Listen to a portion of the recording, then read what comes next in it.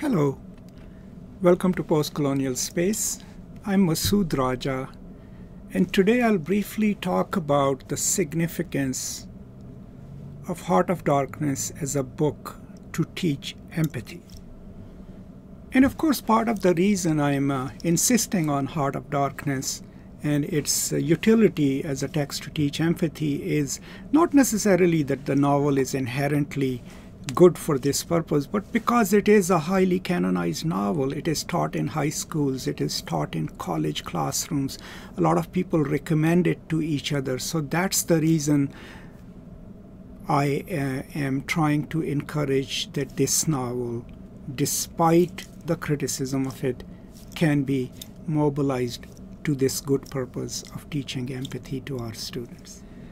Now, just recently, I conducted a live webinar, and it will show up there, um, on uh, literary studies and creation of empathy, in which I relied on my colleague and friend Mark Bracher's work on empathy and critical pedagogy. And then I went on to record uh, a brief summary and analysis of Heart of Darkness itself.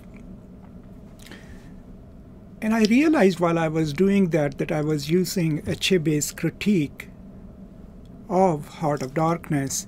And in that critique, the question of agency is huge. And I have a video on agency which you can also watch. But in the process of looking at the text from the point of view of the native agency and how they are represented, one probably tends to forget that the novel still has a huge potential, if taught carefully, to generate empathy in our students for their local and global others. And let me explain how. Okay, so if you watch my webinar on empathy and literary studies, uh, what I argued there through Mark Bracher's work was that in, there are so many ways in which our perceptions of others are formed. And some of those ways are only on the semantic level of language, and some of them are deeper in our consciousness, which rely on what Bracher calls prototypes. And prototype is a kind of archetype which is developed in our consciousness about a group about a constituency and it is fixed. And whenever we encounter a person from that category and that group, that prototype immediately is invoked. So, in order to change our views of another constituency, no amount of facts and knowledge can accomplish that unless that prototype is complicated. Now, what Bracher suggests is that one of the most effective ways of enhancing that prototype and making it capable of recognizing the other as the same is through literary text when we read a text in which another group is represented, a group that would otherwise be considered completely other, and then find common human elements in it. Human elements that the reader can share and say, I feel that, I have experienced that, or that would be terrible if someone did that to me, right? And if we could point to those, and if the students and readers can then see that despite this huge prototypical difference, there are so many things they share in common with this group, this constituency that they would have otherwise considered completely different that creates a space in that prototype, in their schemas of consciousness, to engage with this other as a fellow human being. Right? So that's roughly the technique. I'm kind of simplifying it to teach empathy. Now, think of Heart of Darkness.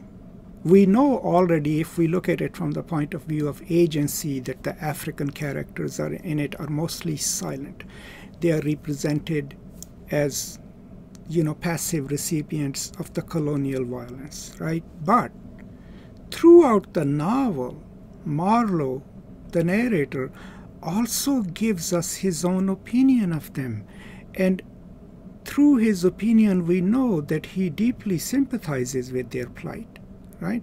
And he is critical of it, right?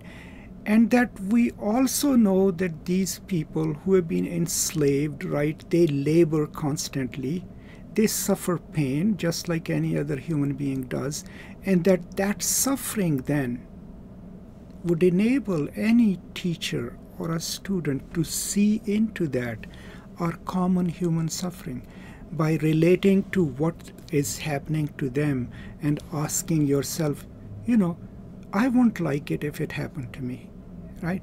And that is what would open the space for a sympathetic reading of the text, but for feeling empathy for these probably absolutely foreign characters for them.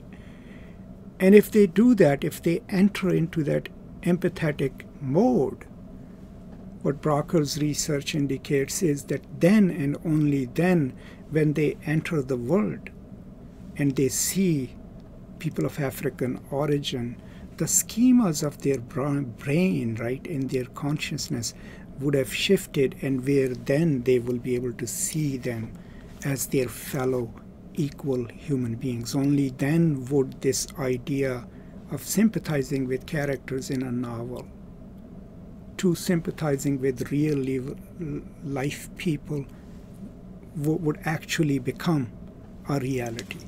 So that is why I think, uh, and part of all uh, reason also Heart of Darkness is crucial is because it is a sort of a sentimentalist novel, right?